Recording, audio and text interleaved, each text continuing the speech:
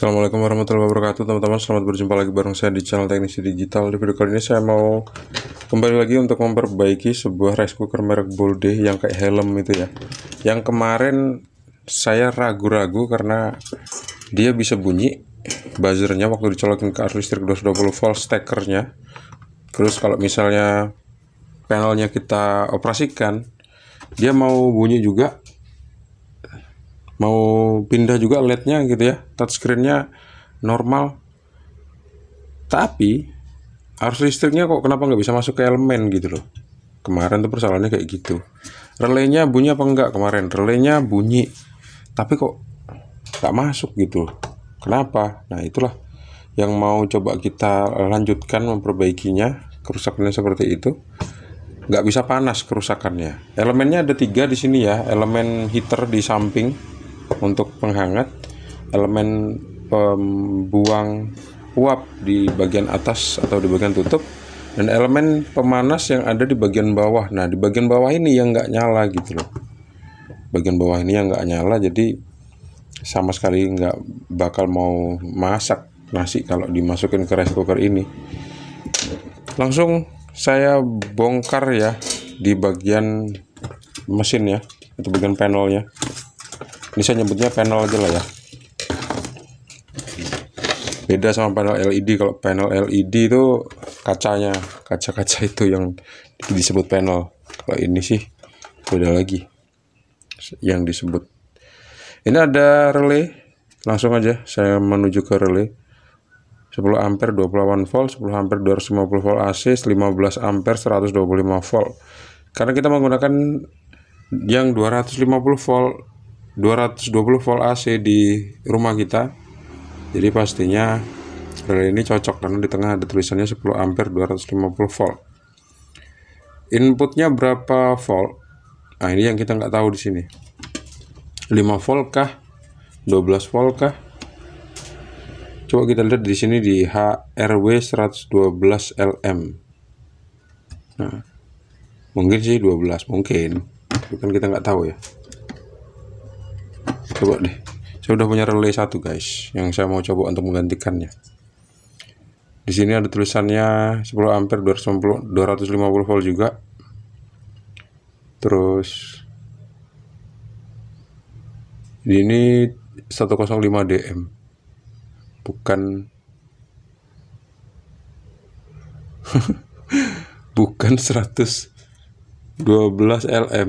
Bukan itu ternyata tipenya tegangan inputnya gitu loh. Ini kan relay asli ya yang saya punya. Asli dari pabriknya maksudnya. Tapi herannya kok kenapa nggak ada ini ya? Nggak ada deskripsi tegangan inputnya. Tapi di sini ada tulisannya TV5 ini ada yang angka-angkanya nggak nggak ada loh. Kita nggak tahu nih input relaynya berapa gitu Memang relaynya bisa dialiri sama tiga buah tegangan dan arus ini teman-teman.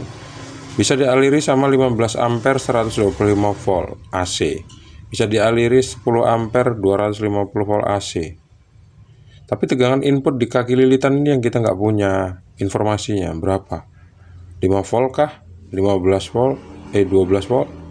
Biasanya sih antara 2, antara 5 dan 12 volt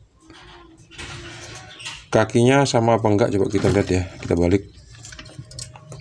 Kakinya ada sama. Ada empat. Sudut kakinya sama enggak jaraknya? Oh sama.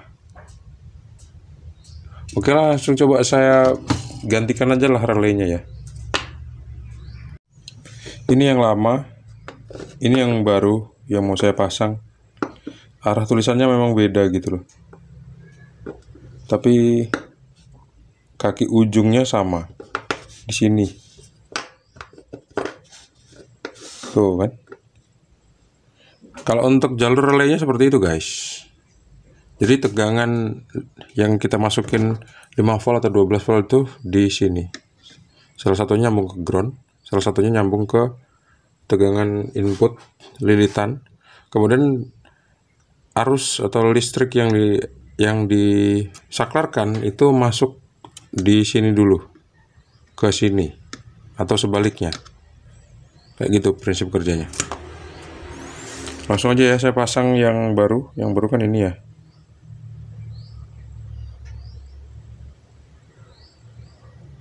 Ke sini. Saya nyoldernya agak tebal relaynya saya nyoldernya saya nyolder kaki relaynya agak tebal. Kayak gini nggak kayak yang lain. Ya tinggal dipasang terus dites aja. Gimana bunyi apa enggak hidup apa enggak normal apa enggak sebelum saya pasang ke elemen saya mau tes dulu kira-kira di output kabel yang masuk ke elemen ini ada tegangan listrik 220 voltnya apa enggak ya? Pakai avometer digital skala 750 volt dan kabel ke elemen saya lepas saya gantikan probe avometer dengan saya jepit seperti ini. Ini antara L sama N atau sebaliknya. Nanti kalau misalnya keluar tegangan 220 volt artinya bakal muncul di sini informasinya. Bismillahirrahmanirrahim. Saya colokin ya ke arus listrik 220 volt untuk melihat hasilnya seperti apa. Hati-hati jangan sampai bersenggolan bisa korslet ya. Bismillahirrahmanirrahim. Oke. Udah saya colokin saya on kan dulu. Sekarang kita masak nasi ya simulasinya. Kita start. Ah sembuh kan? Keluar tuh 233 volt. Yes alhamdulillahirobbilalamin sekarang saya matikan ya guys ternyata relaynya memang rusak. Uh. kita pasang dulu. Kabelnya ke elemennya pastikan kencang. Dan jangan terlalu kencang karena ini bisa patah. Kalau patah selesai.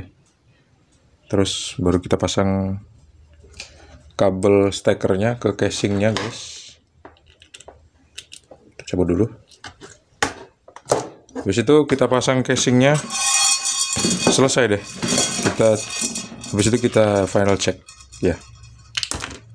Ini dia casingnya. Udah saya pasang semua skrup-skrupnya dan pancinya udah saya taruh di sini. Kita tutup ya. Terus kita ambil stekernya kita colokin ke listrik 220 volt. Bismillahirrahmanirrahim. Oke udah bunyi ya. Sekarang kita tekan tombol menu kita pilih yang mana yang rise misalnya.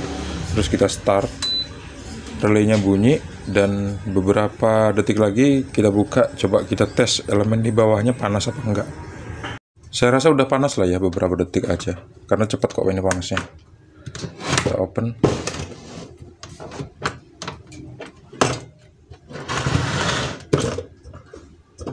Tuh bener